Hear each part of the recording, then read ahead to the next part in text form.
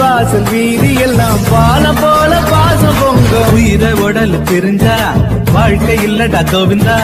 அண்ணன் தம்பி ரெண்டு பேரும் அப்படித்தான் சேர்ந்து வாழ்ந்தா.